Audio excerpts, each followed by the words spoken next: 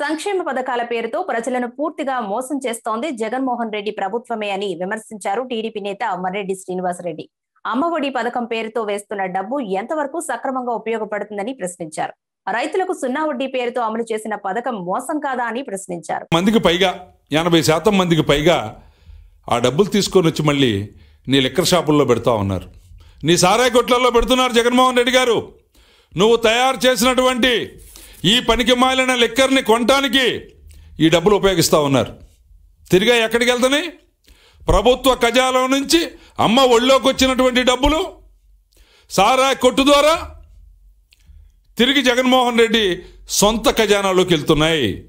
జగన్మోహన్ రెడ్డి గారి యొక్క అనుయాయులు సొంత ఖజానాలోకి వెళ్తున్నాయి. అంటే ప్రభుత్వ ధనాన్ని లూటీ చేయటానికి ప్రభుత్వ ధనాన్ని కాజేయటానికి అవినీతి పరుడు కాకుండా ఉండేదానికోసం నీ విజయసాయిరెడ్డి ఇచ్చినటువంటి ఒక డైరెక్షన్లో భాగంగా పెట్టిన పథకమేగా ఇది? ఇళ్ళ స్థలాల పంపిణీ. ప్రభుత్వ ఖజానాలో డబ్బు తీసి ఐదు లక్షలో పది లక్షలో ఉన్న పొలాన్ని పాతిక లక్షలకో ముప్పై లక్షలకో కొనటం దానిలో నుంచి నీ ఎమ్మెల్యేల ద్వారా ఏజెంట్ల ద్వారా కలెక్షన్ తీసుకొని నీ సొంత ఖజానాలోకి మరల్చుకోవటం. ఎక్కడ? ప్రజలకు సంక్షేమం ఎక్కడంతా ఉంది? వాహన మిత్ర పేరు చెప్పి పదివేలు ఇచ్చానన్నావు. మరుసటి రోజే డీజిల్ మీద పెట్రోల్ మీద బాదులు పెట్టావు. ఆర్టీఓల్ని రోడ్డు మీదకు పంపించావు. ఆ కేసులు అన్నావు ఈ కేసులు అన్నావు. హెల్మెట్ కేసు అన్నావు హారన్ కేసు అన్నావు బ్రేక్ కేసు అన్నావు లైట్ కేసు అన్నావు. పదికి పది మరుసటి రోజే వసూలు చేసి మళ్ళీ తీసుకుపోయి ఖజానాలో పెట్టుకున్నావు.